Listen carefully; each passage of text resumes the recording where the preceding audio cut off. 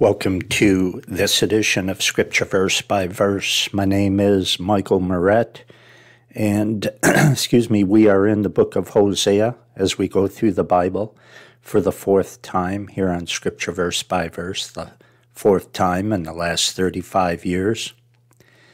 Hosea chapter 12, verse 1. Now you can study all four of those series, they're all archived for you at the Bible versebyverse.com. So choose the series, the book of the Bible, the section, the chapter, click and listen. That's all that you have to do. And all you need to bring is your Bible. And Father, we pray that you would sanctify us by your truth.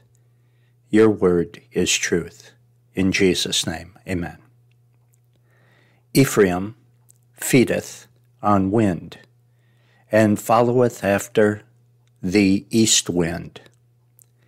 He daily increaseth lies and desolation, and they do make a covenant with the Assyrians, and oil is carried into Egypt.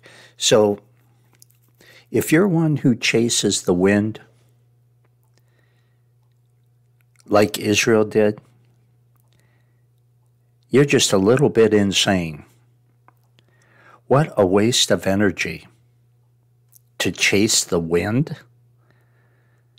And often Israel turned her back on God, and that is exactly what she did. She wasted her energy.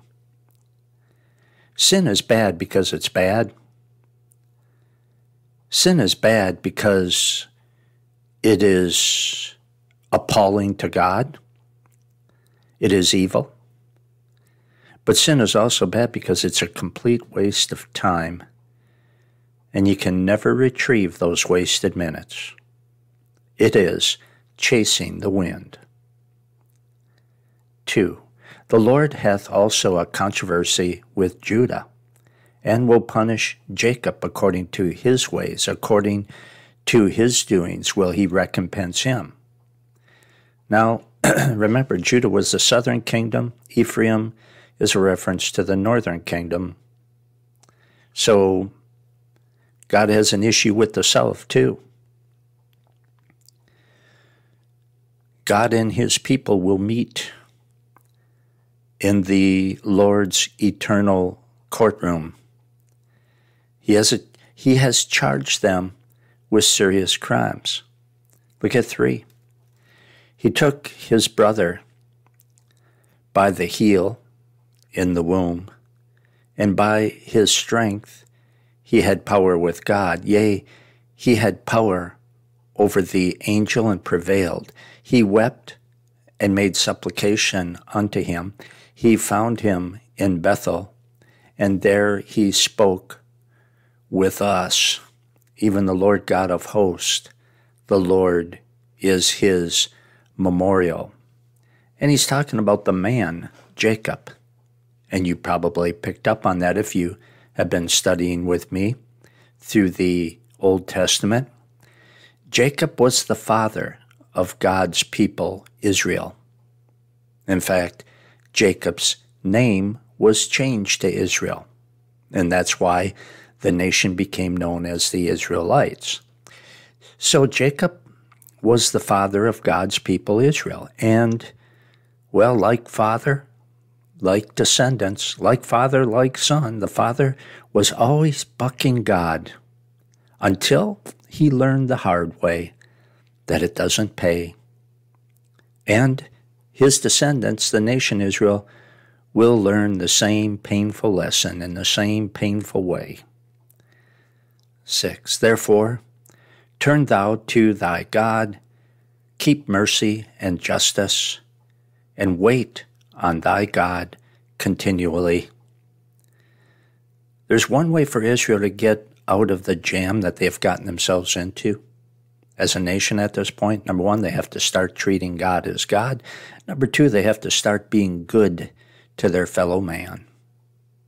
Seven, he is a merchant the balances of deceit are in his hand. He loveth to oppress. So Israel was trying to achieve greatness by deceit and cheating,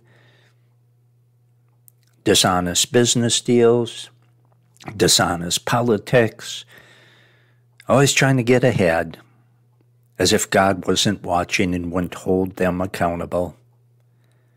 Just like he does today, my friends.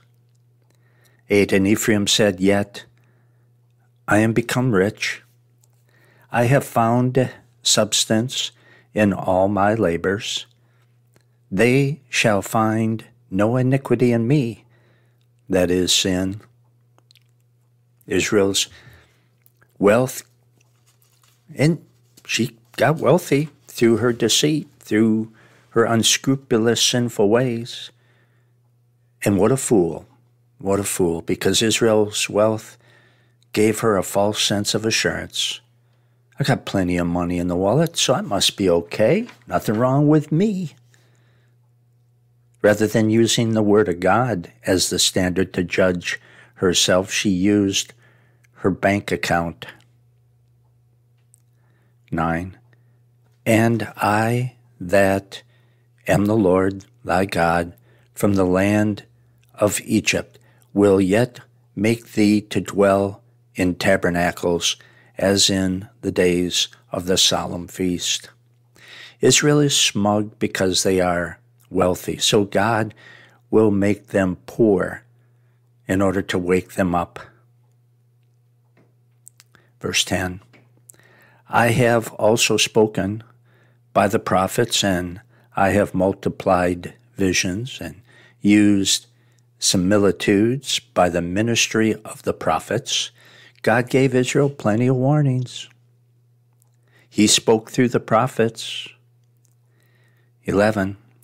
Is there iniquity in Gilead? Surely they are vanity. They sacrifice bullocks in Gilgal, yea, their altars are like heaps in the furrows of the fields. The Israelites used their pagan altars to cry out to their idols for protection and prosperity. But God is, God is going to destroy those altars, which should set off alarms in Israel's mind. 12.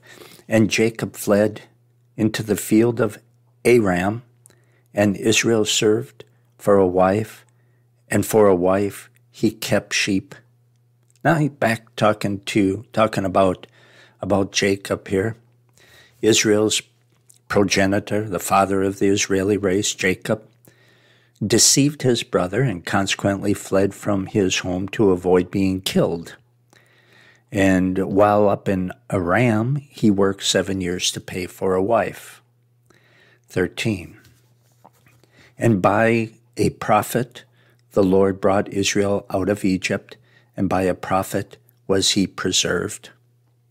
Just as Jacob cared for his father in law's flocks, God cared for his people in the wilderness between Egypt and the promised land. Through his shepherd Moses, he cared for them. 14. Ephraim provoked him to anger most bitterly. Therefore shall he leave his blood upon him, and his reproach shall his Lord return unto him. God treated Israel well, but Israel responded by sacrificing her children to her false gods and by killing God's prophets who gave him who gave them the word of God. And God must punish, and he will punish such blatant and repeated rebellion, hideous sins. Let's go into chapter 13 a little bit. When Ephraim spoke, trembling, he exalted himself in Israel. But when he offended in Baal, he died. Ephraim, at one time, was the most powerful section of the northern kingdom, but it lost its greatness when it abandoned God for idols. Verse 2 And now they sin more and more, and have made them melted, and cast images of their silver and idols according to their own understanding. all of it, the work of the craftsmen. They say of them, let the men that sacrifice kiss the calves. Well, once they tolerated rebellion, once they began to tolerate rebellion, the umbilical cord to God was severed, and the restraining influence of the Holy Scripture was gone also. And that led to the most depraved sins imaginable, even the sacrificing of their own children to their false gods. 3. Therefore, they shall be like the morning cloud, and like the early dew that passeth away, like the chaff that is driven with the whirlwind out of the floor, and like the smoke of the chimney.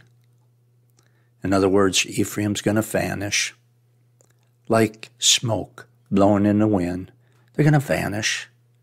Once so prominent, once so wealthy, once so glorious when she walked with the Lord, she will vanish because of her sin. Four, yet I am the Lord thy God from the land of Egypt, and thou shalt know no God but me, for there is no Saviour beside me. God hasn't changed. Israel has changed. She has left God. But that doesn't change God. God still is who He is. Five, I did know thee in the wilderness, in the land of great drought. God never wronged His people. Never. He had compassion on them. He cared for them during hard times. Six, according to their pastor, so were they filled. They were filled, and their heart was exalted. Therefore, have they forgotten me? Instead of bowing before God for his goodness to them, they became proud of their prosperity as if they had accomplished all these wonderful things on their own, forgetting God completely. And that's always the first step to apostasy. I'm saying forgetting God is the first step to apostasy. Seven, therefore, I will be unto them like a lion, like a leopard, by the way will I observe them. Instead of being their provider and protector, he will be like a lion, ready to pounce on them and devour them as prey. 8. I will meet them like a bear that is bereaved of her whelps, and will tear the fat of their heart, and there will I devour them like a lion. The wild beast shall tear them. A bear robbed of her cubs is not an understanding creature. A bear who has been robbed of her cubs is not in an understanding mood. She is fierce and she's ready to destroy whatever is in front of her. And God says that's what I'm like when Judgment Day comes. Like a bear robbed of her cubs. I'm not very understanding. I'm just fierce and ready to destroy. And I will. And He will. He will destroy, not annihilate, not eliminate, but absolutely kill physically and send their souls to hell for eternal torment, a destroyed, wasted life. Not annihilation. No, annihilation is not taught in Scripture anywhere. People in hell wish there would be annihilation, but there isn't. If you would like to be a part of this ministry, you can be by praying for me and praying for the Word of God.